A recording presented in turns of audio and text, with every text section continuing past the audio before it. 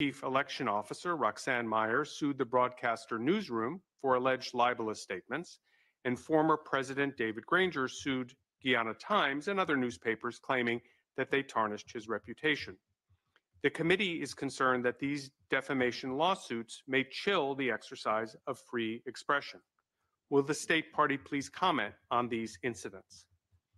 The state party has also indicated that it would decriminalize defamation. However, it appears that defamation remains a criminal act under the 1959 Defamation Act and under Article 113 of the Criminal Law Offenses Act. Reports also indicate that the 2018 cybercrime law has been used to silence government critics on social media, including prosecutions of social media influencers.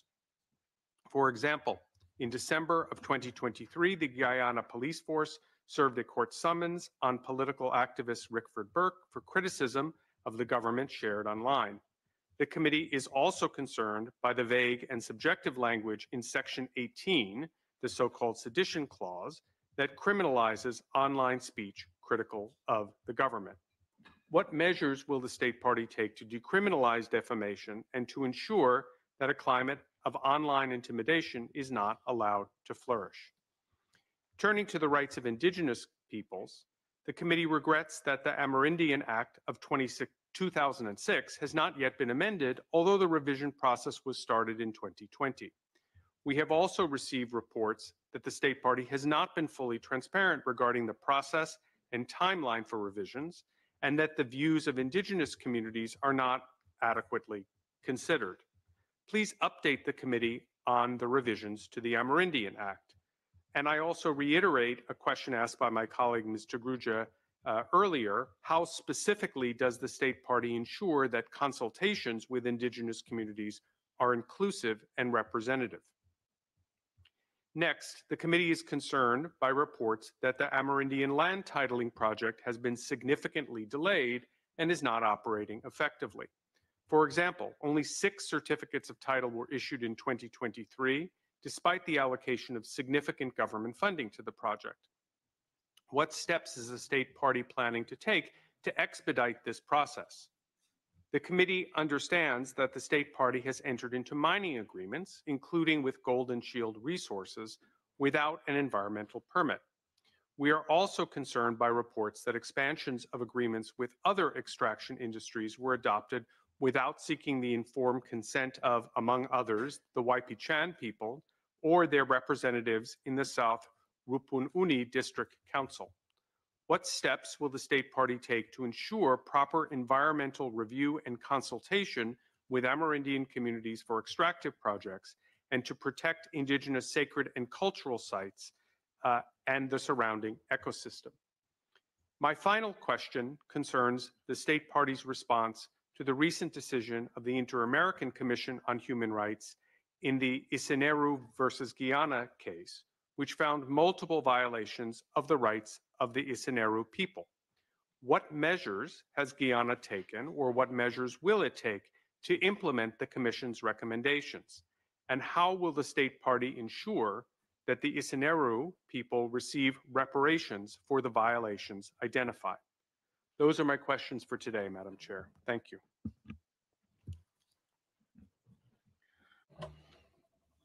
Thank you very much, Mr. Helfer, for those questions. The next speaker on the list is Ms. Tigroudja. Ms. Tigroudja, you have the floor. Thank you, Chair. And I, in my turn, would like to welcome the delegation for this, the third part of our discussions. I would like to begin by circling back to a point that I raised yesterday. I asked a question as to why the previous chair of the Environmental Protection Agency, Mr. Vincent Adams, was replaced with the arrival into office of the current government. And the reply, if I understood it correctly, was that Mr. Adams was behind the agreement between the government of Guyana and ExxonMobil signed in 2016, the Production Sharing Agreement, and thus was implicitly involved in the allegations of corruption surrounding that agreement. However, according to information we've received in 2016, 2016, Mr. Adams was not working for the Environmental Protection Authority. He only began his mandate on the 1st of October 2018, so two years and three months after the signature of the production sharing agreement. So I'd like to ask the delegation to come back to this point in order to make sure that the committee has available to it clear, specific and credible information on this concern. I now come to my questions under paragraph 23, participation in public affairs. And under this heading, I have three clusters of concerns. I'd like to make it clear to the delegation that some of the issues and concerns I will raise, some of the questions I will ask, uh, take up points made by the European Union during its election observation mission in 2023. It echoes some of the concerns that they had. So my first broad group of concerns and questions concerns the structure of the electoral system itself, which is built around two political parties since independence from the UK in 1966, and which has led to the polarization of political life on an ethnic basis. This has led, uh, and we saw this in the 2020 elections, but it's a general concern to an exacerbation of hate speech, uh, to mis and disinformation, which Mr. Helfer already touched upon, and a hostile climate based on ethnic divide. Moreover, given that this complex electoral system is founded on this ethnically, ethnically based bipartisan logic, it leaves out in the cold the indigenous people who have just been referred to by Mr. Helfer, who are, to borrow the European Union's word, absent from political life, despite the fact that they make up 10% of the population. Without going into the technical detail, the principal difficulty in this electoral system is that it does not allow one to set aside ethnic divide and it does not foster inter-ethnic cooperation between the parties. The delegation referred itself yesterday to the ongoing constitutional reform, and against that backdrop, I'd like to ask the State Party what measures are envisaged to amend the electoral system in order to promote pluralism and to put an end to this bipartisan logic which currently prevails, and thus to allow new political parties which are not set up on, ethnic, on an ethnic basis to participate in the electoral process. My second group of questions pertains to the Electoral Commission, which is based on the same ethnically based bipartisan logic or mindset, and thus excludes members coming from other parties or from indigenous peoples. And that absence was also highlighted by the European Union in its 2023 report. We have received several credible allegations and information about a lack of independence and impartiality and a lack of effectiveness in terms of the Electoral Commission, particularly when it comes to guaranteeing pluralism, which is one of this body's responsibilities. I'd like to ask the State Party delegation, how does the Electoral Commission function? How does it monitor the financing of political parties and electoral campaigns? According to information we have received, this financing in these campaigns lack sufficient transparency. I'd also like to ask what role the Electoral Commission takes in resolving electoral disputes, another issue raised by the European Union. My colleague, Mr. Santos Pais, will come back on problems linked to the, the, judiciary.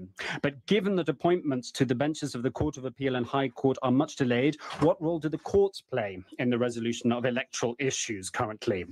I have a similar set of questions under my third broad grouping, which is about the right uh, of persons with disabilities and persons in pretrial detention to vote. I hark back to the endemic problem of pretrial detention in the state party, which can often last for years. However, pretrial detention results in an automatic uh, removal of the right to vote, which is a concern. Our concerns about the rights to vote of persons with disabilities surround the fact that the Electoral Commission has not implemented measures that would allow persons with disabilities to vote in the 2020 elections, which is not just a violation of Article 25, but also violates non-discrimination. Against that backdrop, I ask a very straightforward question. What measures are envisaged for the upcoming elections that would allow persons with disabilities, as well as persons in pretrial detention, to exercise their electoral rights? Thank you very much. Thank you very much for that intervention, Mr. Grujas, as the chair. The next speaker on my list is Mr. Santos Pais. You have the floor.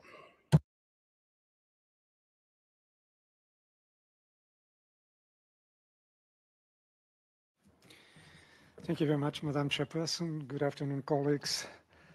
Good afternoon to everyone that is witnessing this uh, uh, review online. First, since it's the first time that I take the floor, I would like to extend a warm welcome to Honorable Minister Gail Teixeira and her delegation. I would touch upon problems relating to independence of the judiciary. According to the National Constitution of Guyana, the president appoints the chancellor and chief justice, the two most senior judicial officials, after obtaining the agreement of the leader of the opposition party. The Judicial Services Commission, to which the head of delegation referred several times, which was not constituted for six years until July 2023, is composed of the Chancellor and Chief Justice, with other members also appointed by the President after meaningful consultation with the leader of the opposition. The President appoints further judges and part-time judges with the advice of the Judicial Services Commission, and the Judicial Services Commission appoints other legal officers. Therefore, both the executive and legislative interfere with the appointment of judges. Moreover, it has been the practice of several presidents not to confirm the substantive appointment of judges, but to keep them in an acting position, thus affecting negatively their employment and other benefits, as well as hampering their security of tenure.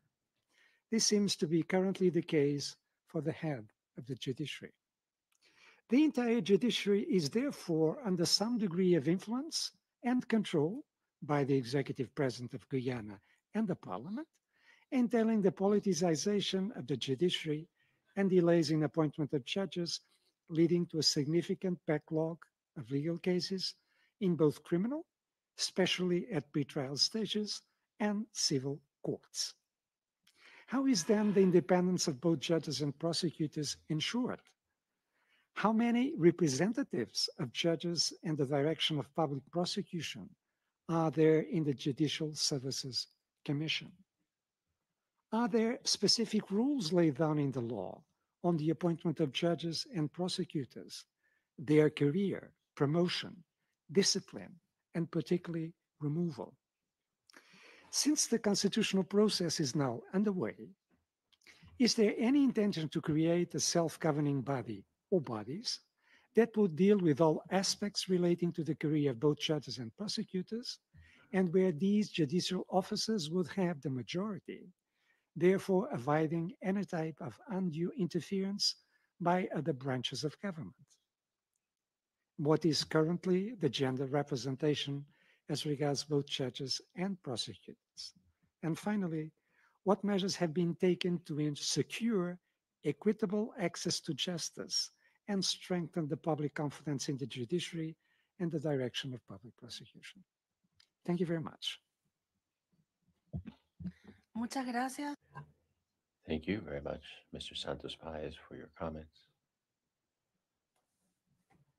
Which brings us now to the 10-minute break and give the delegation an opportunity to go over their replies.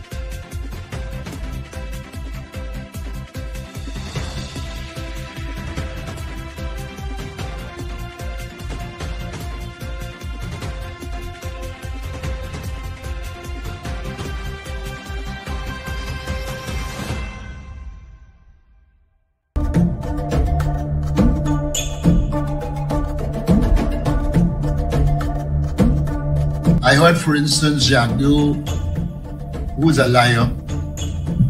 And before I go there, let me deal with him. I think he's mentally ill. It, I cannot understand how a man knows that he was born 1964. He knows from the very Chronicle newspaper that they manipulate and control that Amelia's Ward was opened by Forbes Burnham in 1969. Yet this man who would have been five years of age when Amelia's Ward was built will repeat that he built Amelia's Ward. And when he arrived there, there were no houses. It has to be a madman. I don't see how a normal person could know in this era when you could fact check something, will continue to say something that is completely stupid. It makes no sense and it does him no good except that he doesn't understand that it does him no good. So the People's Progressive Party approach is optics, lies. I mean, I don't think Jack Neal can now define the difference between truth and a lie. It has become interwoven into his fabric. They are operating based on the installation of fear, the misuse of government employees, among other things that they are doing.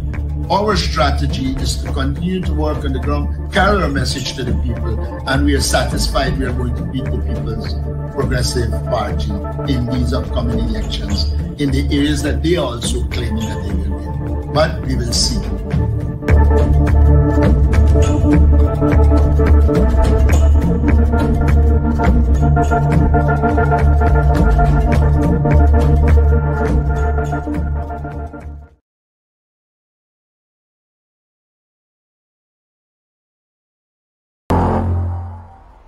I mean, this year, Guyana dropped two points on the Transparency International's Corruption Perception Index, which puts it among the most corrupt in the region. Do you accept that within this government and within this country there is a problem with corruption? We do have real corruption. Do you use middlemen like Su in order to take money on on your behalf so that you can keep your hands clean?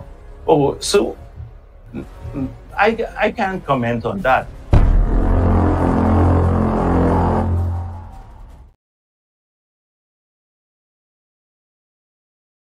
Well, let's talk about specific individuals. What is your relationship with Mr. Su Zhirong? So, oh, so my relationship?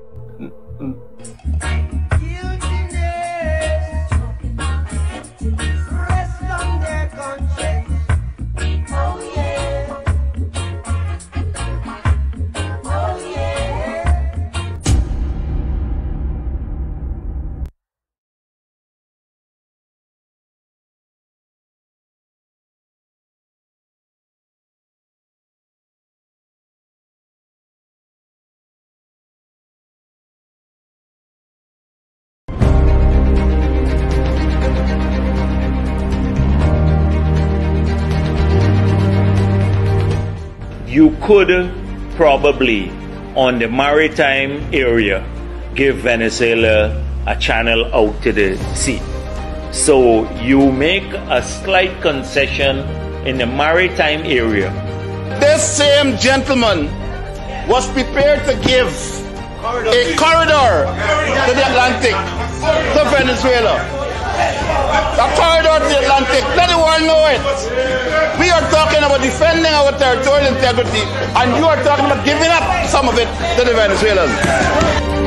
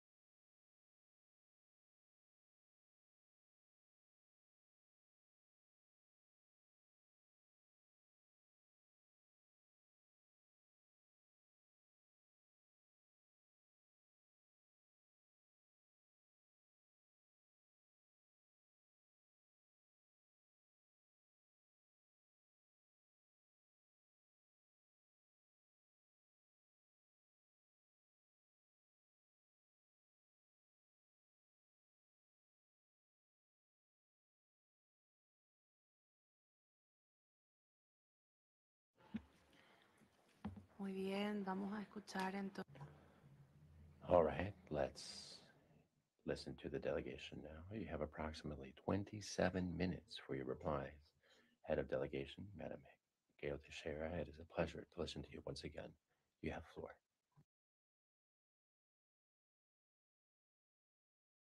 Afternoon in Geneva.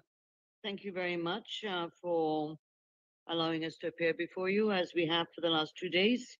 Um, we want to, before we go into today's questions, which are many, yesterday I counted approximately 50 questions in the first round, and you must appreciate it's difficult to provide all the information that is requested in that, that short period. However, we want to just clarify a number of things that came up yesterday, and one of those uh, issues was raised by uh, one of the persons today, one of the committee members today. Uh, first of all, an issue was raised yesterday about children in detention, and a reference was made to a report of children being held in Hugo Chavez house and uh, the night shelter. We wish to go on record that these two residences are not detention centers. They are uh, places where we house persons who are in difficult circumstances and who are homeless or we have we have no place to put them and so these are not places of detention and the children were not kept in detention there are adults there but this was in, this was not a correct reflection maybe it was the way the question was posed but we want to make that very clear that a place is only a place of detention if appointed by the Minister of Home Affairs and gazetted. Hugo Chavez and the night shelter are not in that category. The second issue regarding the director of EPA. The question yesterday came in regards to requesting the qualifications and on what basis or process regarding the appointment of the director of the EPA. We find this a rather odd question that the committee would ask us regarding an appointment of a person that's appointed by a statutory board under law in our country. We found it strange and that we explained that there was a board, the Environment Protection uh, Agency Board, that would have gone through. In fact, the present director has been in the EPA working there years before. The issue regarding the, the former director, the former director um, did not appear to have a problem when he was there from 2019 onwards to implement the production sharing agreement of 2016, which we all know is flawed and which we cannot change at this point. And so, because it is contract law. And so that was a reference made, but we do not uh, feel that it's appropriate to ask a country in regards to appointment of a person who is uh, uh, appointed by a board of our country. The boards are covered by law and who comprises it. We also want to make it very clear. There were some questions asked about government and investigations. In case we misunderstood it, that we want to make it very clear that the government does not investigate. Police and other statutory and constitutional bodies do. There was an issue raised about the EITI, the Extractive Industry uh, Transparency Initiative. We wish to advise the committee that this is headed by a multi-stakeholder group that has three representatives of civil society, three representatives of the industry, and three representatives of the government. And that is the body that oversights the uh, monitoring and, and preparation of Guyana's reports to the EITI. In case there's any misunderstanding, Guyana civil society organizations are quite large, not very strong, many of them, but nevertheless, we have a good spectrum of civil society organizations across the country and in the capital. This ministry has a national stakeholders forum with a directory of NGOs that are over 100. And we have consultations from time to time with them. But we wish to point out the breadth and the scope of these civil society organizations include women's groups from across the country, youth groups across the country, trade union representatives, trade unions, the private sector bodies, which are several, the um, the indigenous organizations, including the National Toshaos Council, the religious organizations, Christian, Hindu, and Muslim, which are the largest group of within the national stakeholders, and special interest groups such as the LGBTQI or those that are specifically dealing with HIV AIDS or specific areas of children. The importance of the consultative process we keep referring to when we represent ourselves here is built into legislation. It is built into how we do our work in the, the regards to oil revenue in terms of the constitutional reform process and in terms of appointments. Our constitution and our parliament has written into the constitution and the standing orders of the parliament that in terms of appointments of people, uh, nominees, I explained that yesterday, two constitutional bodies, that is a broad sweep of inclusion of NGOs, in fact, to do with the Ethnic Relations Commission, approximately 168 NGOs, civil society bodies, were consulted in a very organized framework and guidelines to ensure that the process was transparent by the civil society organizations. If I were to refer, return to the questions that have been asked today, maybe I could should talk, I'm not going to be able to go in any sequential order, but I will try to answer um, as, as quickly as I can.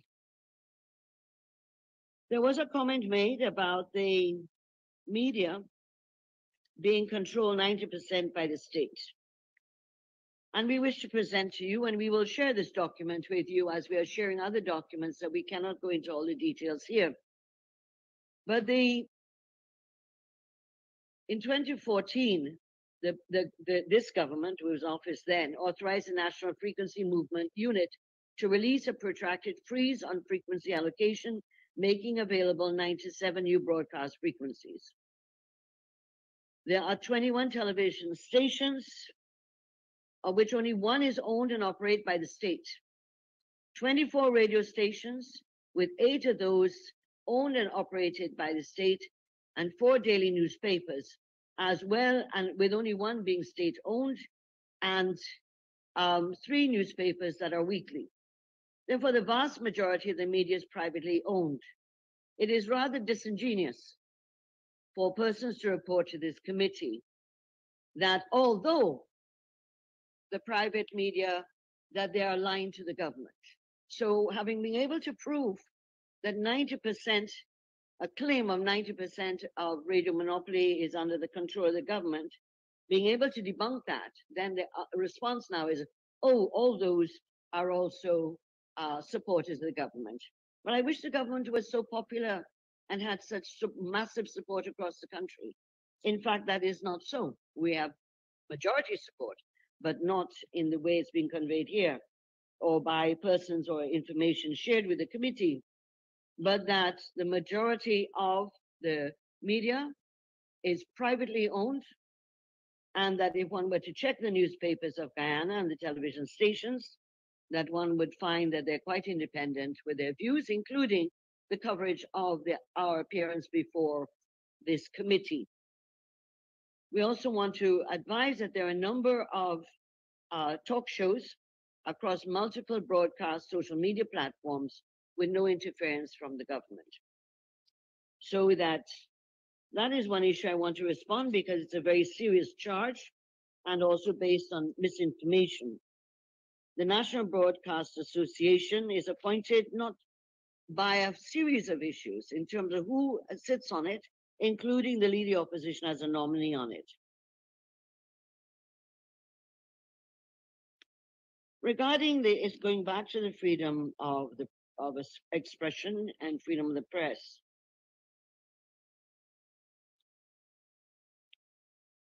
There are issues being raised here about matters that relate to private business, such as the media houses. The government is unable and unwilling to, to respond on issues that relate to private companies and the business of those private companies at this forum. Regarding the issues of press harassment, and specifically in relation to the former government. These are matters that have caused outcries by various society, including the government, when it was in opposition. And that in fact, the issue of uh, the, this, the, the, the issue that has been raised here about a press conference by the president, um, unfortunately, it doesn't reflect correctly what happened. We have been asked by the ICHR, uh, to answer, and we have, and we are awaiting their response to our answer.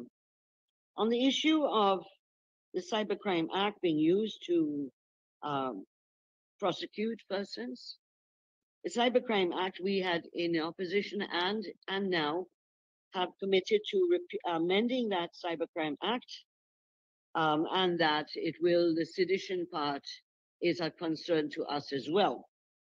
However, we must ask the committee that the case that is referred to here, Rickford Burke, who does not live in Guyana, he lives overseas, of Guyanese of origin, but who constantly carries a race line, a division line on our people, attacks people on race, and in addition to that has called for the removal of the government and the overthrow of the government, burn down the buildings, etc.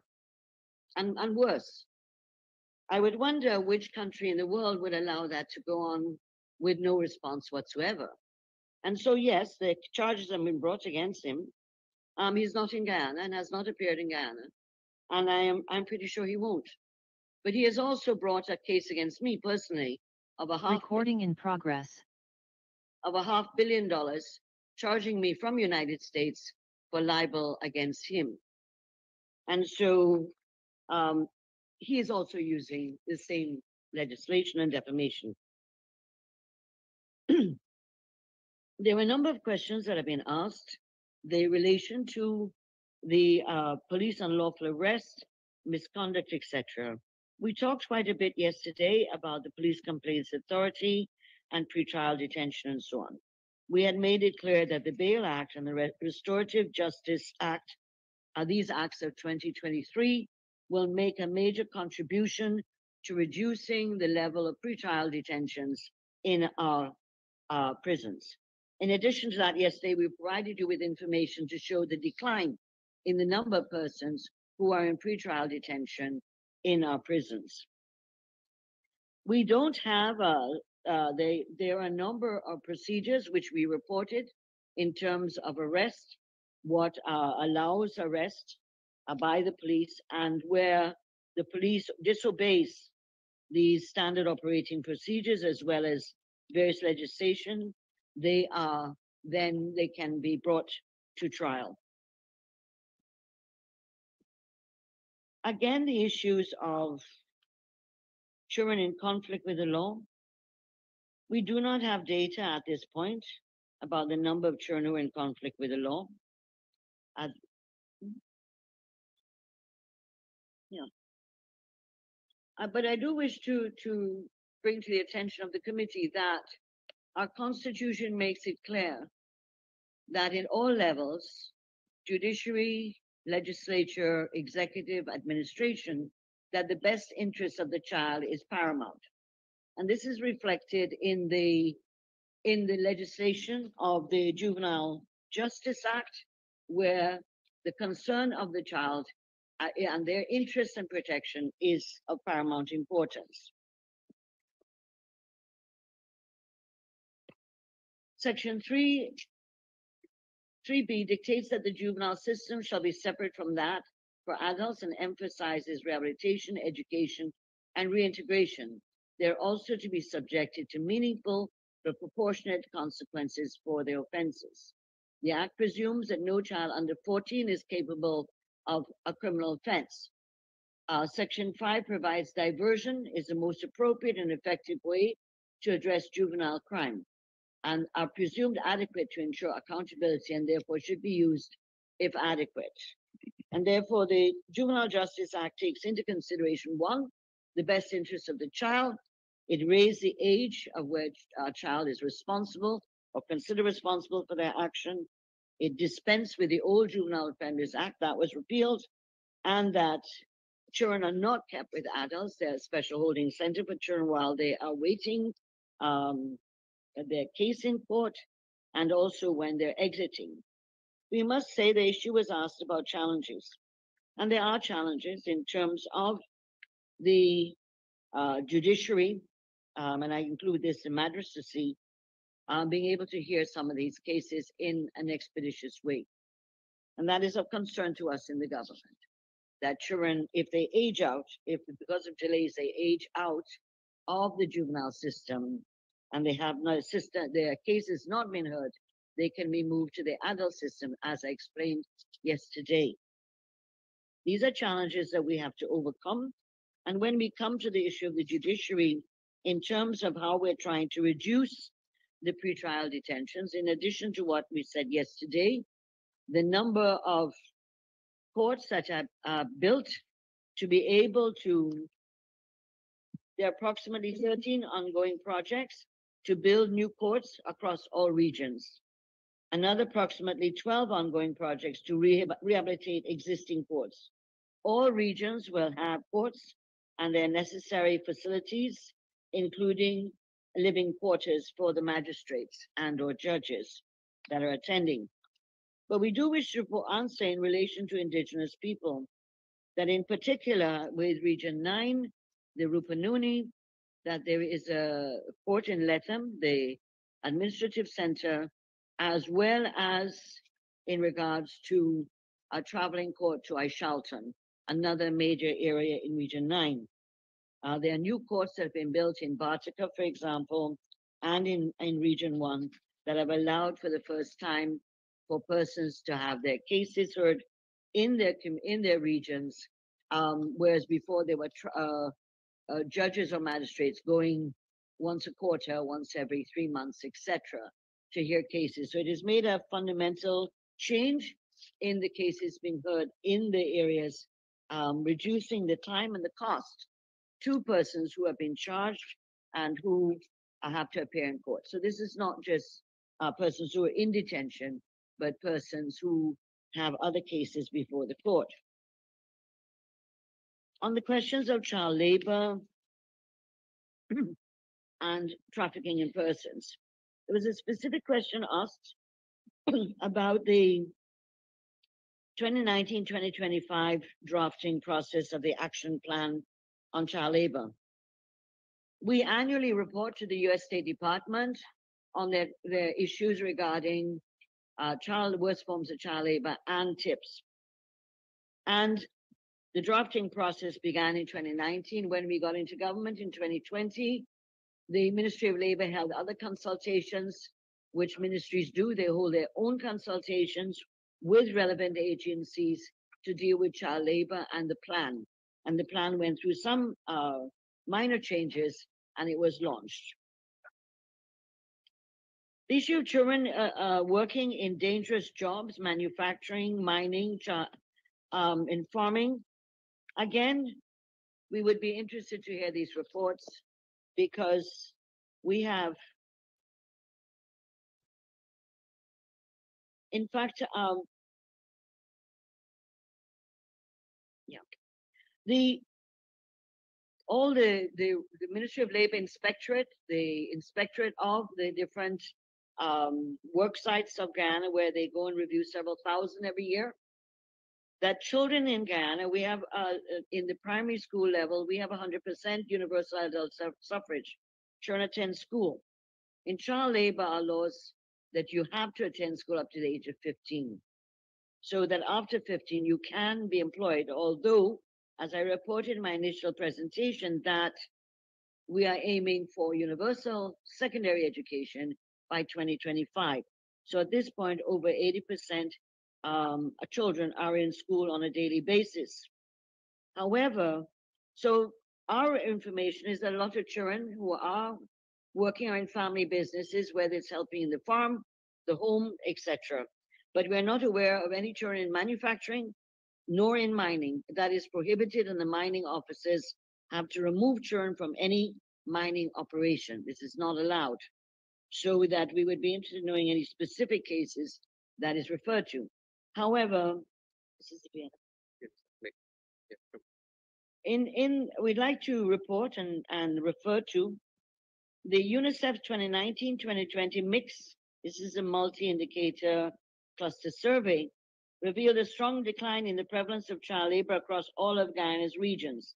The average percentage of children aged 5 to 70 involved in, involved in child labor declined from 18.3% in 2014 to 6.4% in 2019, with 4.9% of children involved in economic activities at or above the age-specific threshold, and that 1.8% were involved in household chores at or above the age-specific threshold in 2019. Therefore, the, the proportion of children involved in hazardous work also declined to 8% in 2019-2020 compared to 13% in 2014. This is a UNICEF report, and that this has gone down even further based on the number of children that are in school. During the COVID uh, pandemic, school were closed, business were closed, people lost their jobs, as all other parts of the world, and that many children who were 15 and over, in particular, went and got jobs as uh, working at car washes and at um, uh, the, the bus parks, the transportation parks. Access to justice and the backlog of cases. Um, there is a backlog of cases, we admit, in the civil cases and, and criminal, and that we do not have statistics from the courts on this matter. And as I said, what measures we were asked to reduce delays in criminal cases. We have pointed out new courts, the issue of the Bail Act and the Restorative Justice Act, for example. The and the Bail Act is particularly targeted to reducing prison overcrowding by reducing the lengthy pretrial detentions, as well as the Narcotic, Drugs and Psychotropic Substances Amendment Act, which provides for alternative sentencing by the courts. We also want to refer to the fact that the Justice Restorative Justice Act also provides for the establishment of um, a restorative justice center as a main body to oversight this and to have eventually regional centers of restorative justice to ensure that the criminal justice system is responsive and that case the number of case uh, caseload is reduced, but also increasing use of alternative sentencing. We are also looking at uh, new criminal procedure rules that would help to make um, the process easier. And this, of course, would be led by the judiciary. One of the legislation that is before the parliament is the um, criminal procedure plea discussion plea agreement and assistance agreement bill was tabled in December 2023, as well as the paper committals. Just, yeah, the paper committals bill of 2023 was also tabled in the National Assembly in February 2024. These two pieces of legislation will assist in expediting cases in court. The first one, the paper committal, refers uh, provides for the abolition of preliminary inquiries that will therefore allow at least two years, it will reduce at least two years off the process of having a, a case concluded, and that the plea bargaining obviously allows for establishment of a system of plea discussions and plea agreements in criminal procedures relating um, to both summary and indictable offenses. The Judicial Service Commission and points were made about the president and the appointments by the president. First of all, I will provide with you, um, before I go to that, let me give you the legal aid clinic um, data that you sought. As, as you know, the legal aid clinic is a separate entity. It is independent of the government. It's a legal aid. Yeah, uh, Legal Aid Clinic and the Linden Legal Aid Clinic are private entities that receive a subvention from the government.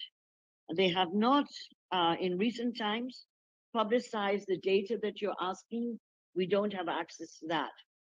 However, their, their subvention from through the Ministry of Human Services and Social Protection under Social Services um, shows that between 2020, their allocation of 59.9 million has incrementally increased to 2024 being 92.3 million. The Linden Legal Aid Clinic subvention has also been increased from 2020 of a 15.9 million to 2024 21.6 million. So that this is the government's contribution to ensure that persons, particularly poor and vulnerable, and women in particular, have access to free services. We also reported to you that yesterday of the pro bono initiative to have legal services offered by lawyers through an agreement with the Bar Association of Guyana. We reported on that yesterday, and in terms of them reaching uh, areas of the country, we gave a number of uh, people, over 3,000 people, have been able to access since it was launched approximately a year ago. We have a number of issues we still have to report on, and therefore the issue of that has been raised about the president and the appointments and the leader opposition. Okay. Should I stop, Madam Chairman? Because there are many more questions to answer. I, I can't answer all these questions in 25 minutes. Eh, muchas gracias. Thank you very much, uh, Ms. Teixeira, for the replies furnished thus far. We will now turn to follow-up questions, and then we'll turn things back to you to give the delegation some additional time to respond. With regard to the methodology, I'd just like to clarify a couple of points. Firstly, the information the committee has received a great deal of information which needs to be clarified and expounded upon, and this is the perfect opportunity for the state to do that, for the state to provide greater detail uh, and more precise information to the committee. Now, we're aware from our side that we've asked a lot of questions, but these questions are asked, they're spurred by the desire of the committee to get clarification on a number of points, points that we've drawn from the information that you have given to us. And that is why we give the state party the opportunity to respond in writing to some of those questions that uh, the state party isn't able to answer orally. And we do thank the delegation for the effort and the endeavor they're making to answer orally where they can. But I'd like to remind the state party that this is the only opportunity that members of the committee will have to ask questions for uh, ask questions of clarification, etc., and to delve deeper into certain issues and to feed into our concluding observations. And so we think that this is an important interactive space. It's helpful for the state party to engage in this interactive dialogue so that we can tease out and expand upon issues of clarification. And once again, a reminder that anything we can't get to in the oral interaction this afternoon can be answered in writing in the 48 hours following the conclusion of this interactive dialogue. Mr. Gruja is the first of the speakers for follow-up questions. Please go ahead. Thank you, Chair, and my thanks uh, to you also for having reminded us all of the methodology, because when we get bogged down and caught up in the dialogue, the quality and nature of the replies does improve as people get more natural, more comfortable in the way in which the interactive dialogue is proceeding. But I think it is a useful reminder also to make it clear that there's an additional 48 hours for the state party to answer in writing. For example, they can answer in writing on the questions I asked about the electoral system. I want to pick up on a question asked by my colleague, Mr. El Haiba, on the situation and status of children. And this harks back to a question asked by CEDAW and this is the whole question or issue of nationality and the way it should, in which it is transmitted to children, in particular to children born abroad. According to information from credible sources and from many such sources that we have received, in domestic law in Guyana, it seems there are problems, both legislative and practical problems, in ensuring that nationality can be transmitted to children born abroad, who thus run the risk of statelessness, particularly when pa their parents don't have dual nationality. So I'd like to ask whether since the concluding observations of CEDAW were sent to you, whether the domestic position has changed, the legislation has changed, to ask you what measures have been taken to protect children from falling, uh, from ending up stateless And as I say, this risk of statelessness uh, affects children born to Guyanese parents abroad, in particular single parent families. R- The risk of statelessness is run in particular by children born to single Guyanese mothers abroad. And so I'd like to ask for any information about the steps taken by the state party to address these concerns and points. Thank you very much. Thank you very much, Mr. Gruja, says the chair. The next speaker on my list is Mr. Quezada.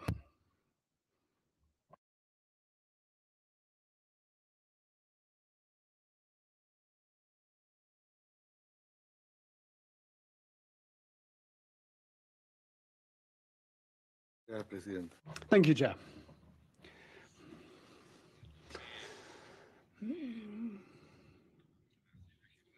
The head of delegation will provide us with replies to some of the questions uh, that we asked in writing, but there are some of the questions that haven't yet been answered, questions on trafficking, aliens, refugees, asylum seekers. Possibly answers for that will be forthcoming, as I say, orally now or in writing. I do have some follow-up questions on the justice system.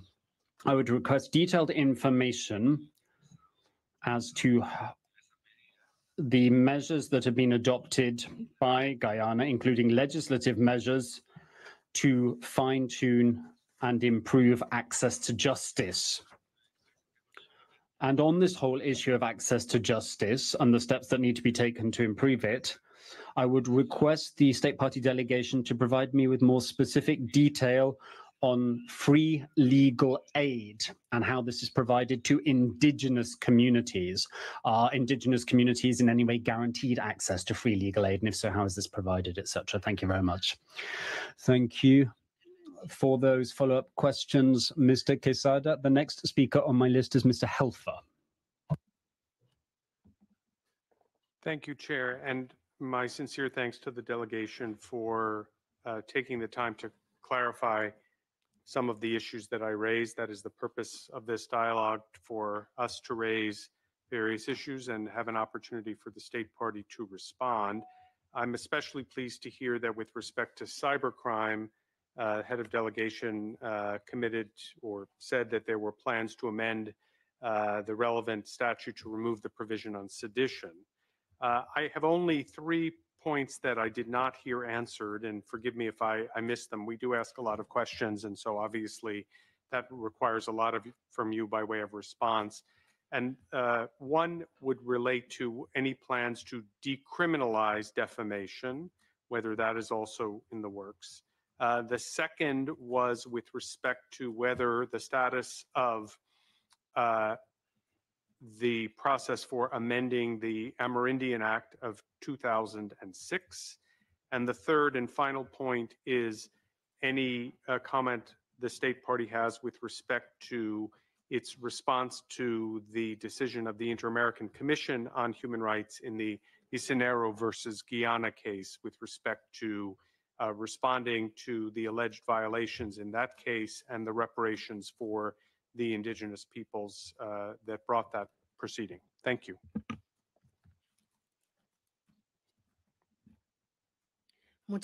Thank you very much, Mr. Helfer. The next speaker is Mr. El Haiba.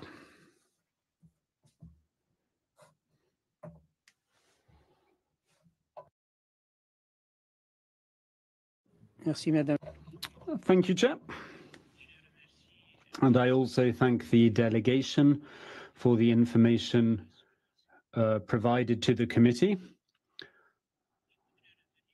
I would like to circle back to a question that I asked yesterday on femicides. And I would ask the delegation to provide us in writing within the set time frame of 48 hours information as to the number of femicides, information on prosecutions and sentencing in uh, cases of femicides. With regard to children, the committee has taken note of the 2018 law on justice of minors or juvenile justice. I would like to ask the state party what steps it has taken to guarantee that the best interests of the child prevail. You yourself referred to that principle earlier. And so I'd like to ask whether the state party intends to create a specific mechanism for the protection of the rights of children, uh, a mechanism that would be in line with the international standards in the subject area.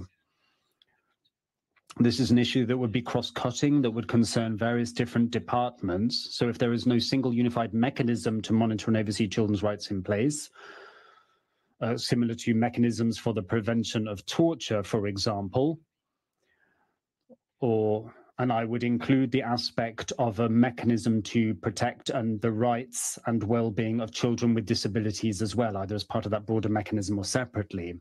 So I'd ask the delegation to provide us with information on that issue, whether any such mechanisms exist or are envisaged. On child labour, we didn't receive any replies or any statistics, that is, particularly with regard to the number of children working in rural areas. In particular, I would ask information about children in Amerindian communities who are working.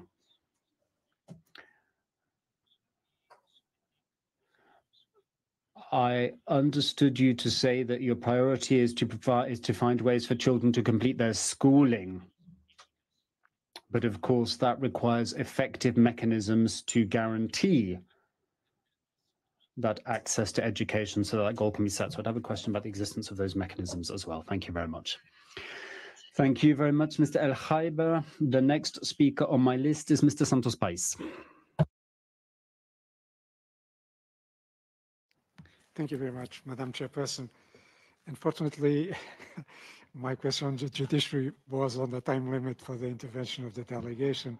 So I hope that this will, at a time, the delegation will be able to comment on my questions. Of course, the concern that I have is that uh, if the head of the executive appoints almost all judicial officers, including members of the Judicial Services Commission, there is at least a suspicion of interference, both government and the legislative leader of uh, the opposition, in the appointment and career of judges and public prosecutors. And so I would insist on the question and, and particularly to see whether there are any intentions on the ongoing constitutional process in order to create self-governing bodies for both judges and prosecutors in order for them to avoid any type of undue influence on uh, by other branches of government. It's not enough just to say that you have independent agencies if the persons that run these agencies are appointed by those that should not appoint them. Thank you. Thank you very much for those follow-up questions, Mr. Santos Pais. The next speaker on the list is the last speaker on the list, Mr. Carazo. You have the floor. Thank you very much. And once again, I'd like to convey my gratitude to the delegation. Thanks in particular to Her Excellency Ms. Teixeira for the very in-depth replies to the questions that I put. I have to, I would also like to echo the reminder of the methodology for this interactive dialogue that we were reminded of by the chair, and to underscore the fact that this is intended to be a constructive dialogue. I emphasize that word constructive. It's a golden opportunity for states parties who have submitted their reports to provide additional explanations to flesh out the information in those reports including responses to contradictory information and reports that may have been received by the committee. So it can be a genuine dialogue. We listened very carefully to the details of the constitutional and legal structure that the Republic of Guyana, the Cooperative Republic of Guyana, I should say, has developed, particularly when it comes to the promotion and protection of human rights as well as the steps and the legislative and other standards that the that Guyana has developed to promote participation in public affairs and public life. It's a very unique structure that you've established, a very distinct one, and it you know, we can see that it provides for the participation of opposition parties in the development of standards for the protection of human rights and for the protection of the right of the people to participate in public and social life, etc. And our hope is that this would also include for the full participation of community representatives, civil society organizations, non-governmental organizations. And it would seem that there is room to expand Guyana's approach to ensure the full participation of CSOs and NGOs, uh, which is not yet the case today as a result of actions by the government, the administration, etc.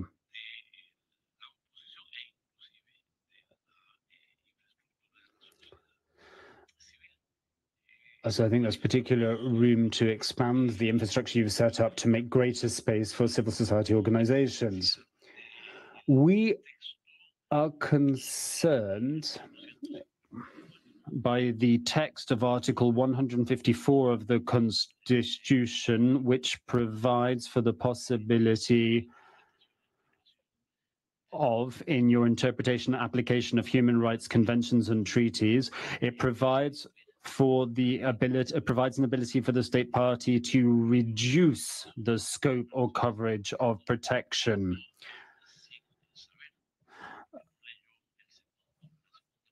I was reminded in one of your responses that I hadn't, or it was remarked by you that I hadn't read the second part of your Article 154. I'd like to reassure you that I have read fully Article 154 of your Constitution.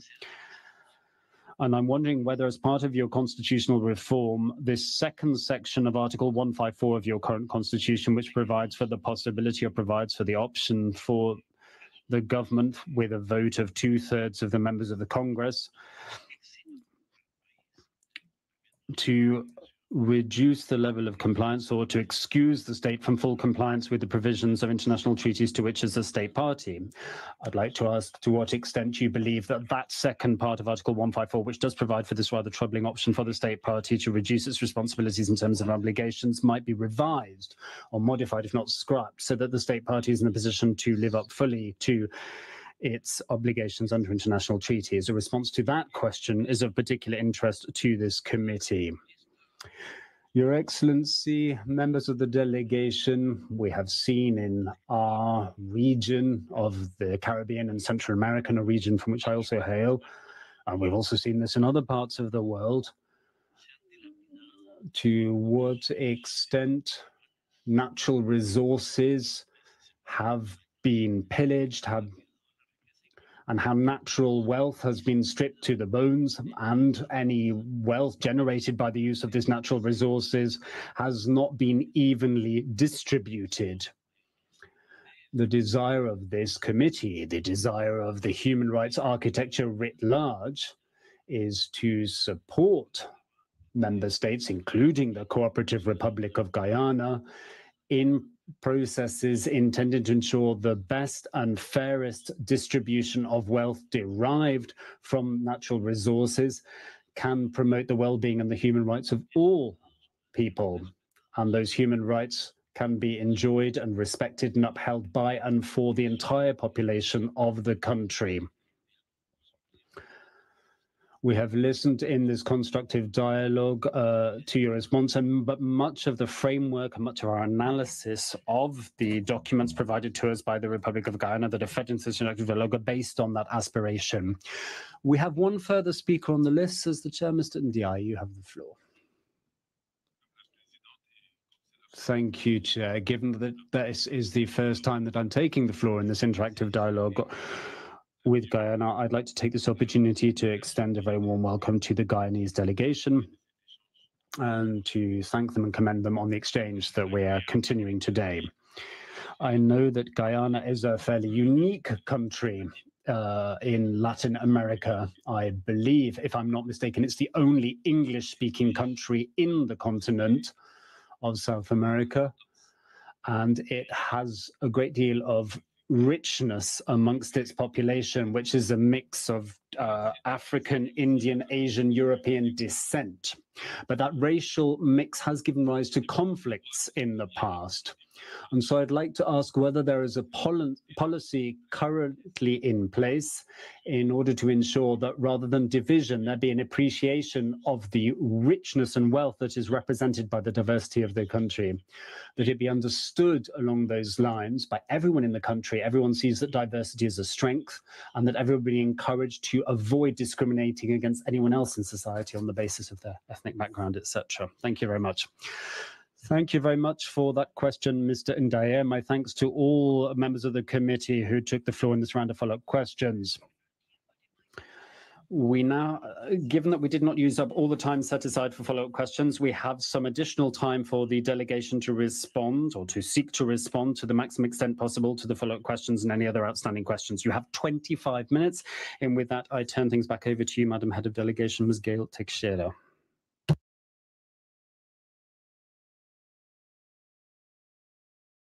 Constructive dialogue always. And we appreciate the questions being asked, but we also find it difficult in a live streaming situation where the public hears and everybody in the world can hear, and we are unable to have enough time to respond to some very detailed questions that are being asked for us. We appreciate that these will be submitted in writing. However, the persons who are on in the live stream will not see those answers or hear them. And so that's the disadvantage we're at, and we hope you appreciate that that's the disadvantage that we have. By adding live streaming, which we like and we agree with totally, that we also have to make sure that both parties are in a constructive dialogue of being equal, equally able to respond. Uh, there are a number of very important things I want to respond to, and I hope I can do it in the additional time that you made available. I thank you, Madam Chair. Um, the issue to do with 154, Article 154, which the last person has asked. Yes, as we pointed out yesterday, it is a two-thirds majority required in the parliament to remove or derogate from any human right in our, our constitution and or in any of the conventions we have signed. Um, how easy is that, he asks? Very hard. It is very, very difficult to get two-thirds majority in our parliament. Um, the numbers are, are not vastly apart. And so the government has 33 seats. The opposition together, there's two parties, have 32 seats. And therefore, two thirds is not an easy thing. And in addition to that, sir, there are parts of our constitution that if you wish to change, you have to not only get a two thirds majority, but you have to go to a referendum. This issue, I'm sure that in the constitutional reform, there may be issues raised. I'm not sure on this issue but no government, as far as I know, can can um, capriciously uh, remove these covenants that we have ratified. Um, and so I wish to reassure that, we believe that our constitution builds in protection to these rights. Uh, the issue of natural wealth being shared, we have reported here. The increase in allocations for health and education. The fact that in every Amerindian village in our society or indigenous village in our society, every rural village in our society, every municipality, there are schools for children at the nursery, primary, and in the regions, which are large, we have secondary schools where children come in the interior areas where their dormitories provided. And so, as a country of less than 800,000 people and coming from a poor background in the past, we have made amazing changes in terms of free education, free health, subsidized housing, increases in the water availability in interior and rural areas, and electricity. And may I say to the honorable member who has asked the question, the issue of, we have a program, we cannot afford to um, put in electricity in every single indigenous village or, or interior far villages. And what we have done is had a program of the solar panels distribution, where these communities will get and have been getting in the Laware program we started under the Office of the Prime Minister, that and the Guyana Energy Agency. In thus far, 28,952 homes in the interior of our country, in the riverine areas of our country, have received solar panels and will be for the first time being able to turn on lights in their house. This was particularly started in 2013, 2015, uh, and was halted um, when the then government came in afterwards, and it has been resuscitated. And this was particularly designed to allow children to be able to study at night. And that was the impetus of this, the household solar uh, program. We also have built wells and, and uh, in many of the villages which didn't have access to clean water before. The issues of, that have been raised about judges and the Judicial Service Commission and the suspicion of interference. Just to go back again, the Judicial Service Commission is appointed as follows. The chair of the Public Service Commission, the Chancellor of the Judiciary, the Chief Justice of the Judiciary, one name that comes from Parliament regarding a lawyer, a legal person who is not active in the profession, and one name who is a lawyer or a judge retired that is agreed to between the president and the leading opposition. That is the Judicial Service Commission. So even if the president had sway and was able to convince the leading opposition to appoint a man he liked, the commission itself has other persons on it who are not, uh, who may or may not uh, be uh, uh, supportive. The other issue is that if the point is being made about appointments of judges and prosecutors. The prosecutors are not appointed by the Judicial Service Commission. The Director of Public Prosecutions appoints uh, prosecutors, not the Judicial Service Commission. And her office is also the office of the Director of Public Prosecution is also a constitutional post, which the, uh, the Constitution prescribes how that post is appointed. The points that were raised to do with um, the appointment in the Chancellor and the Chief Justice, and we can come back to that. Yeah. The when in the 99-2001 constitutional reform process, politically at the two major political parties, following a lot of violence, that the effort was made to return to normalcy and to accommodate and to ensure that the opposition party did not feel left out of the process.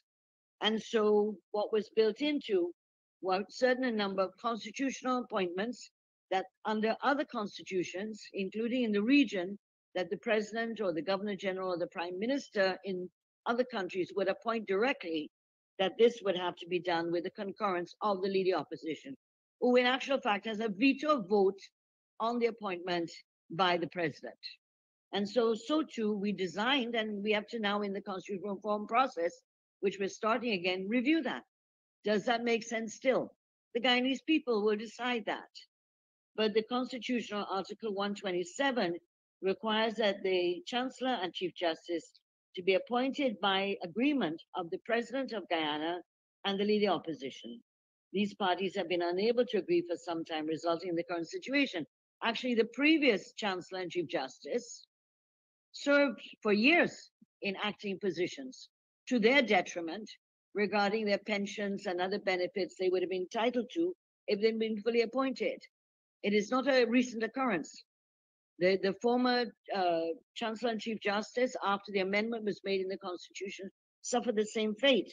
And therefore, we have to review these political interventions in the Constitution, which was meant to build harmony and a greater working relationship between the president and leader opposition. We, however, want to make it very clear that this formula has not resulted in control, direction, or lack of independence of the judiciary. And all we have to do is to appoint, point to the cases in court where the two persons, the Chief Justice has handed down various decisions against that very administration, the former government, and including this government. Um, this includes a decision against the former Attorney General, compelling him to put the, the Judicial Review Act into effect. More importantly, following the 2020 elections, the last administration challenged the results of those elections in two election petitions. The Chief Justice ruled against the election petitions, paving the way for the new administration In addition to that, the same Chief Justice has handed down decisions that are not in favor of the new government who came into power following her decisions. The judges of the High Court, including the Chief Justice, has ruled against the government in matters brought by the environmental activists against the EPA. And I could go on with a list of those. But our issue is that are they being fair and are they doing what they're supposed to do? And that is to uh, adjudicate in a fair and transparent manner. That is all we ask of them. And so the allegations that there is that they are compromised, we find uh, offensive. And I'm sure the judiciary, if they're listening, would find that too. Hmm? Now, there are a number of issues that the issue to do. So the, the fact that it said the, the appointments to do with judges, let me just clarify that. The Judicial Service Commission makes recommendations to the president to appoint. In fact, the Judicial Service Commission sends a list to the president to appoint.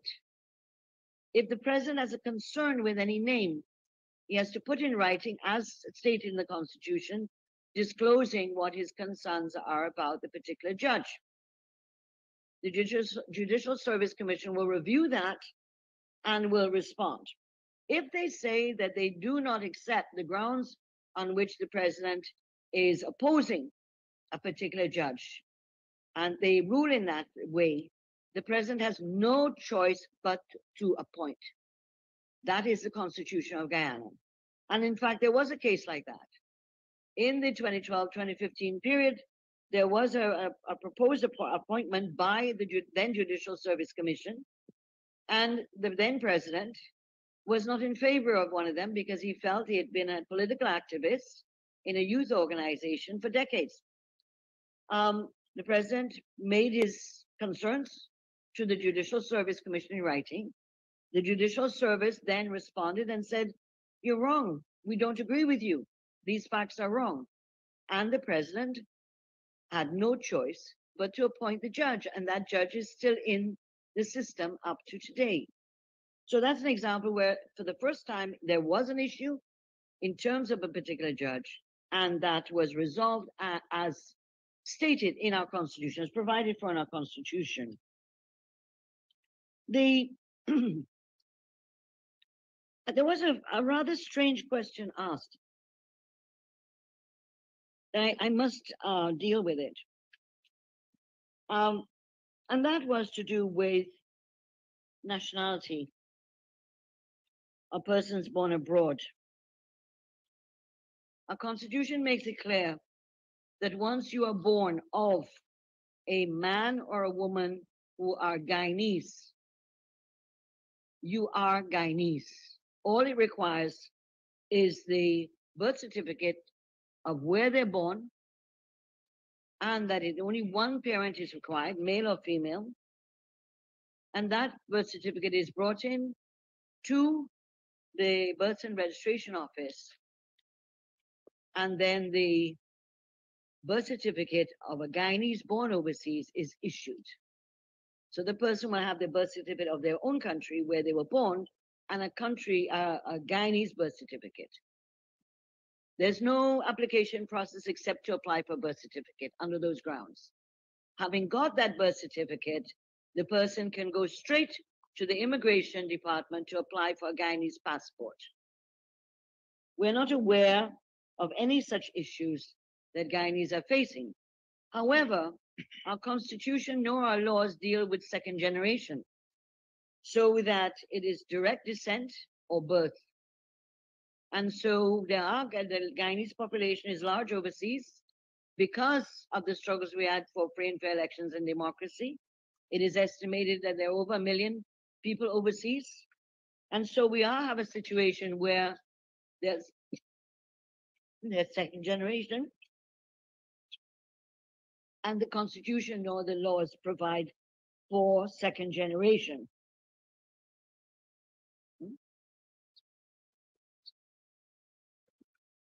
Right. So that the, I'm sorry, that, that this is not an issue as far as we know, but if they are second generation, then our law does not provide for that, nor does our constitution. And that's an issue, I guess, will come up in constitutional reform because there are issues to do with the diaspora also that have an interest and will be consulted with the constitutional reform. Many of them want to be able to hold on to dual citizenship and be in parliament and to hold for elected posts. So these are issues all within that. We're not aware of any child being made stateless. Our Constitution and our Citizenship Act uh, prohibit statelessness of children or anybody else, and therefore, um, and that in fact, um, we have had a number of cases where we have interceded to assist in favor of the applicants who may be confronted with some situations that the, the member asking the questions um, were raised. So we're not aware of any new issues. But we have to recognize we have to obey and work within the law as it is before us, whilst one looks at um, making changes.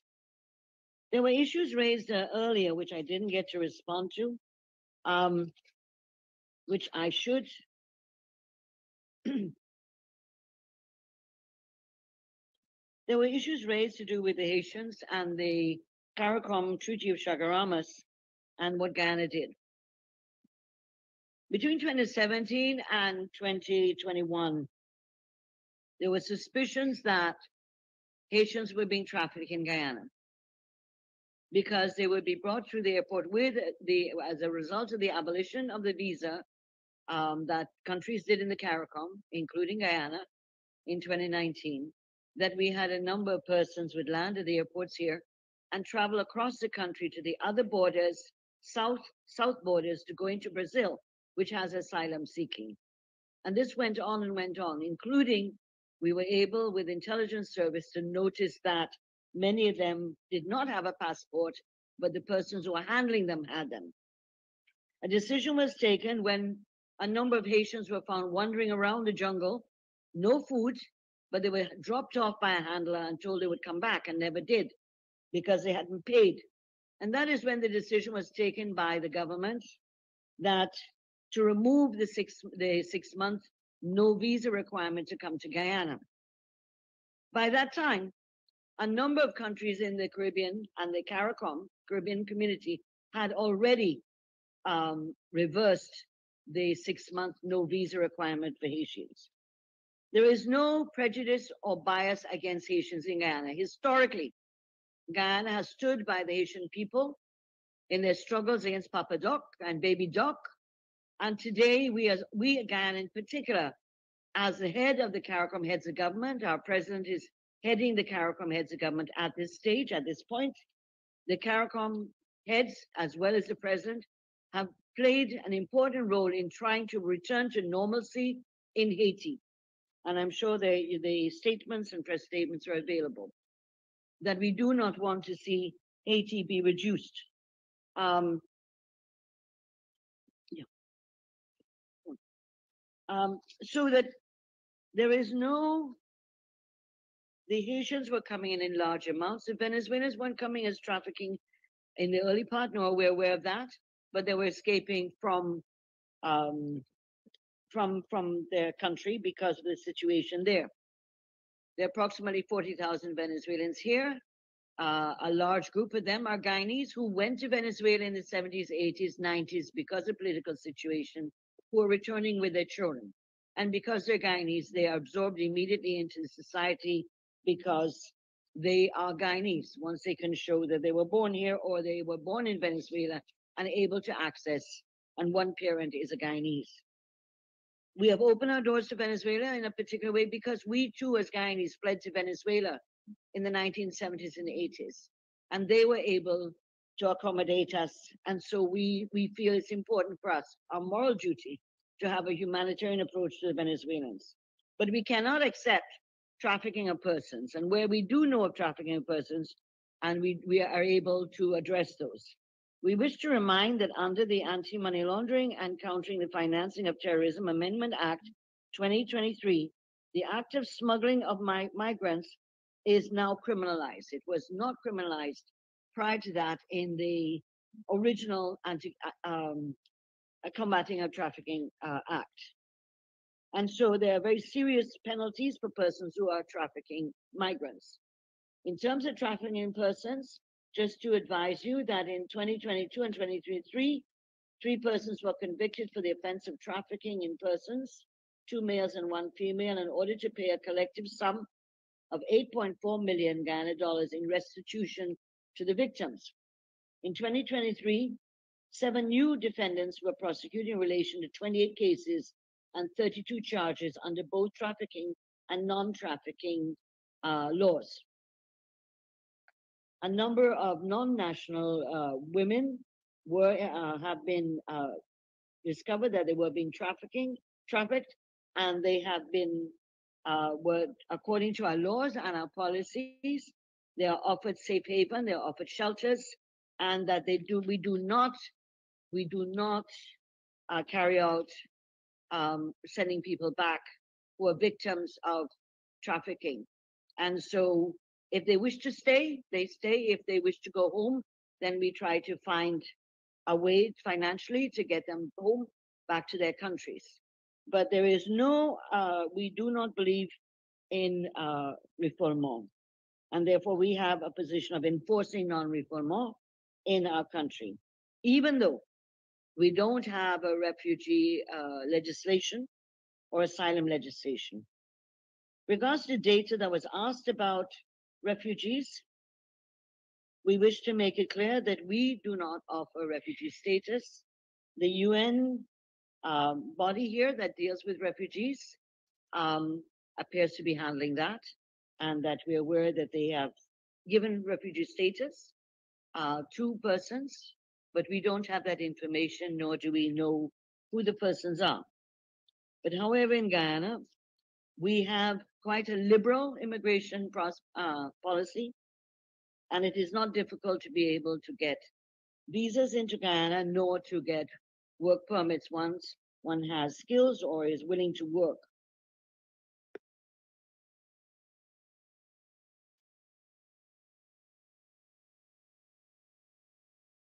The issue was asked about ensuring legal uh, assistance to persons who are from indigenous communities and remote communities.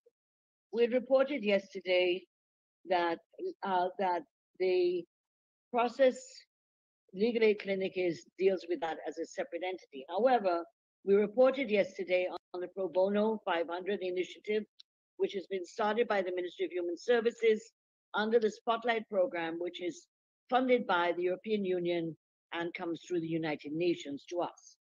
We have a number of interventions in so that persons in interior locations can have there's an important question that was asked about the process for Amerindian consultation on the revision of the Amerindian Act. And I need to be able to say that. The Amerindian Act, I'm not aware of what kind of consultation went on in the former government, but I can report that in 2023, training of persons in the Amerindian Act. So in other words, what they what we are doing is first of all, to go back to look at the act as it is and to train people in terms of leading off in the different villages, and therefore then the, the, the discussion on the act will start. So the exercise of the revision is being executed in collaboration with the National Toshaos Council, which is the legitimate elected authority of the indigenous leaders of Guyana, covered by the Constitution and law, and the Attorney General's chambers. The review process began, the review process began with the training of 54 facilitators, 14 of which were national Toshao executive members, 25 were community development officers, and 15 CSOs. These are 15 community service officers. Um, to be able on the Amerindian Act, to understanding and how to facilitate consultations in the village. They then transition the execution of pre-examination of the Act in cluster form to identify the key areas of revision.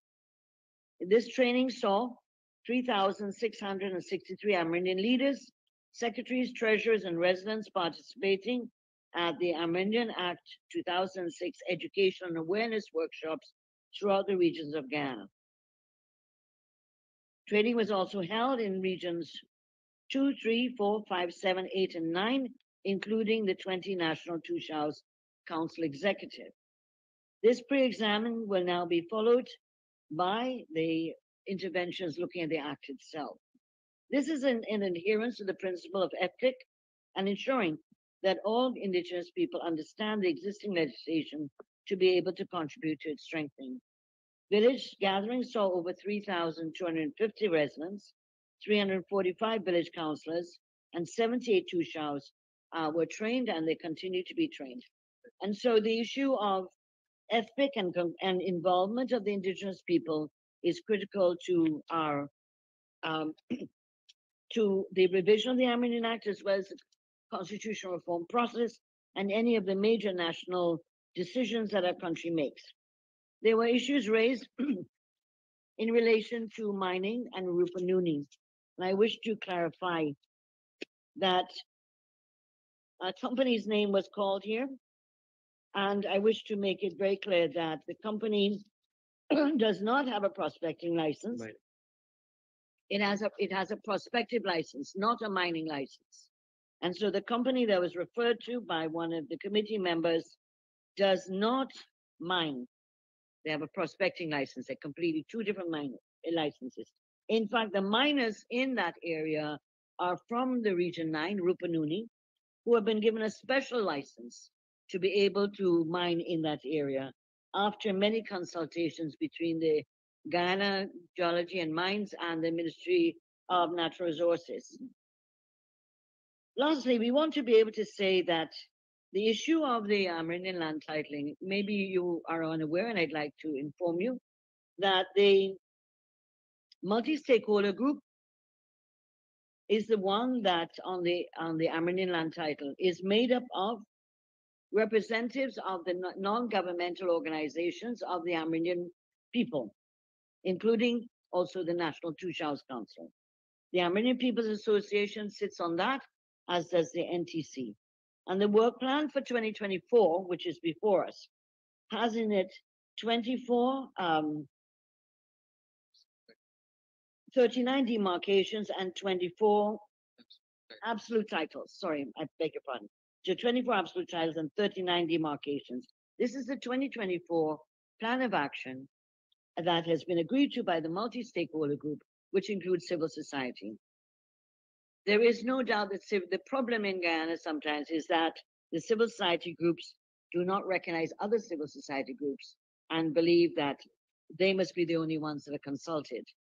We go to all the variety of people, whether they're fisher folk, whether they're trade union, whether they're miners, women, etc., to ensure that they're part of major policy and laws that we're bringing in, including constitutional reform. Can I continue, Madam Chair, or you are, I- I've ended my time? I'm not sure where I am.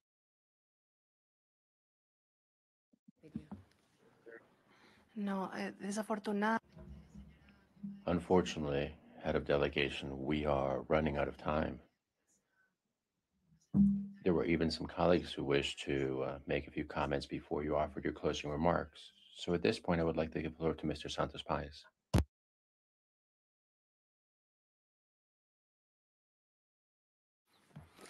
Thank you very much, Madam Chairperson.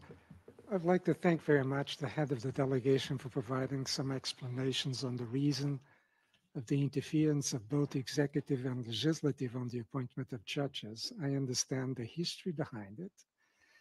I didn't want in the instant to be offensive to the members of the judiciary by Yana. But I think it is hard that the head of the executive and the leader of the opposition intervene in the appointment of, of judges. Because, as you know better than I, the question of judges relates to its independence, impartiality, and security of tenure. And you have confessed that first, there is politicization in the nomination of these persons, that there is unsecure of tenure when you're acting as magistrate, and the, the fact that there is an interference in the appointment itself raises doubts as to the possible way that people perceive the independence of judiciary. We have to distinguish between the impartiality that the judges exercise and the way public sees them to exercise these impartiality. And that's what concerns me. And that's one of the reasons why I ask what would be the measures to, in a certain sense, increase the confidence of the population of Guyana in their judiciary. And as for the public prosecution, you told us that the Director of Public Prosecution appoints prosecutors, but where then is their internal independence and external independence? So I would sincerely hope that uh, the next constitutional reform or the ongoing constitutional reform would probably look into this with fresh eyes and see if it was not the time coming for the judges and prosecutors to elect themselves without interference by other branches of government. Then you would be sure that there was no interference whatsoever by any other branch of the government except the judiciary itself. Thank you.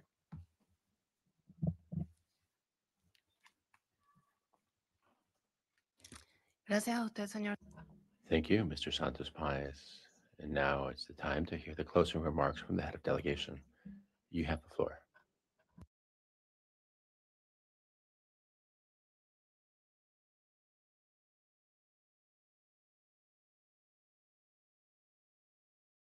Madam Chairperson, we wish to reiterate what we've been saying here on the advances made in Guyana and the progress that's being made in Guyana, in our country. That the interventions of leaving nobody behind, no person behind, no one behind, is a reality that we're striving for in all the sectors, uh, social sectors, etc. The transformation of our country and its physical infrastructure is to improve communication, access, transportation, reduce the cost for people from various parts of the country, and of course, to enhance business and economic activity, jobs. This is what is our responsibility. And we believe that these are issues that must be noted. Rights in documents, in constitutions are critical. And our constitutional legal framework provide for those rights. But the challenges always come in terms of what is the infrastructure? How is it accessible? How does it work? And that is what a lot of effort has gone into to create rights commissions for redress, courts that are more responsive and available. And so I understand what the last person said about perceptions. But the proof of the pudding, as they say, is how do the judges rule? If it is that the judges are always ruling for the government, one may have the right to come to that conclusion. But if judges in this country are ruling as they think even when the government doesn't agree, even when people outside don't agree, then they're doing their jobs. And so we can sit and, and you know, look at that. I don't know about election of judges. In countries where why why would a judge be elected? He has to go to the electorate to be a politician? No, that will not happen in Guyana.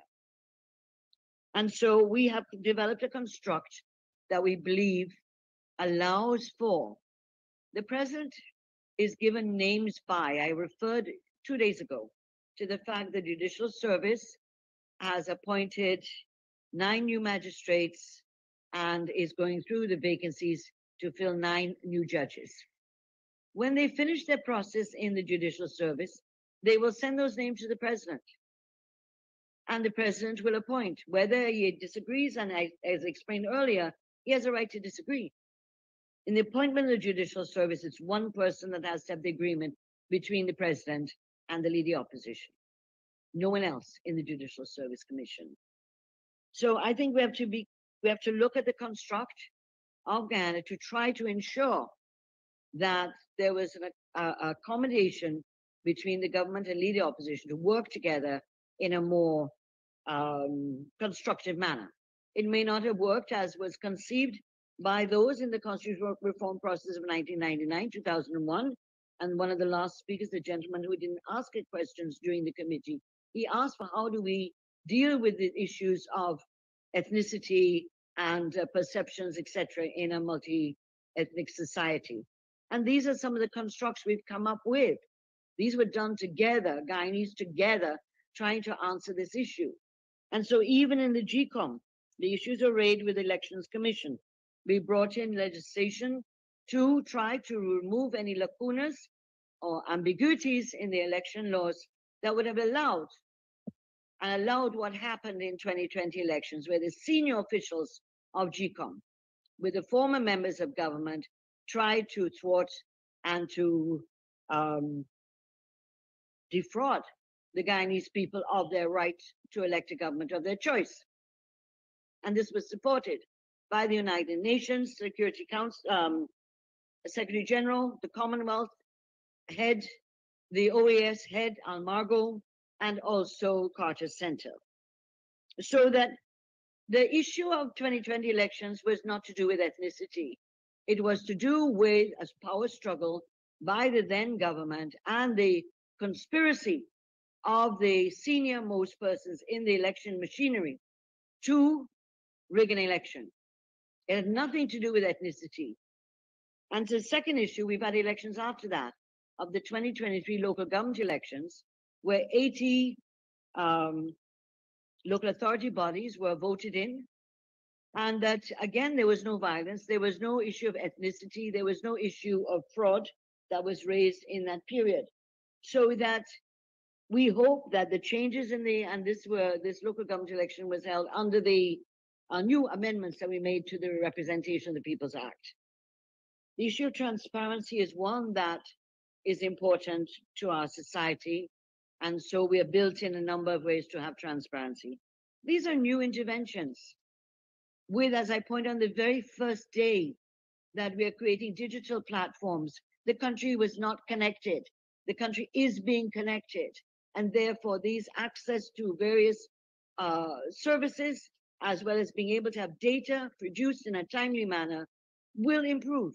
But many of these interventions are a year old, less than a year old, two years old. And so we cannot produce the some of the information you request. But I do want to say that um, Guyana is a country that democracy and the restoration of democracy and its uneven path to building democracy has taught us many lessons and created many unique features which you would not find in the rest of the Western Hemisphere, not in Latin America, not in the Caribbean, because we've had to address our challenges by ourselves. But democracy and expression, freedom of expression, the right to exp- express your views, is not isolated to one group of people. Every citizen and the government and the opposition and anybody has a right to their, view, their views, political views, criticism, etc. But it cannot be a situation where a small group of people seem to be wielding a tyranny of the minority that believe that they alone Uh, are the conscience of Guyana, regardless of what the government says, regardless of what any, any other NGO says. Any NGO that does not agree with them that then gets labeled as pro-government, which is unfair to them. And so we want to build a democratic nation, but we don't want anarchy. We will not allow anarchy. Because what would have been called gossip years ago is now become, thanks to the social media and websites, it has become now fact. And so we are not referring to anything particular any committee member said, but the national stakeholders of Guyana and the civil society organizations are hundreds of organizations, not three or four, not five. There are many more that have opinions and play a role in their communities, whether it's in charity or valuable work with children, after school programs, domestic violence, they are important too, and their views are important too. And so we don't want to see the 21st century Jacobinism, where those who shout the loudest and those who have access to social media are the ones who determine the fate of any country or any issue that is available or being dealt with. This will lead to the dismantle of democracy. We have fought too long to build it, and therefore we accept, we accept that we haven't reached where we want to go yet. We, that there are many challenges we have. But again, we're a small developing country with less than 800,000 people. And that the speed at which we're going with our transformation, we need many more people in our country. We need many more skilled laborers and, and investments. And that is what we're investing in. As I said in the initial presentation and on the first day um, in regards to that. So that we accept and have always accepted the treaty bodies and reviewing. But it is difficult that I find it difficult to be asked here to answer on an issue with IACHR and Isseneru, when as far as I know, we are not concluded the process with the IACHR on the Isseneru issue. And so I'm not even aware that certain documents are public in the public realm. So that I cannot answer on that, and I will not answer on that, because I believe that even when we've said to the IACHR that some of these same matters are being dealt with by another UN body, the IACHR tells us that um, there's no need, uh, they can go to several international bodies at the same time. So we're inundated with petitions by a small group of people who are well financed. We don't want to demilitarize. Uh, so sorry. uh, we We'll- don't have, we have will, we um, don't have an interpretation. You already use all the time allowed.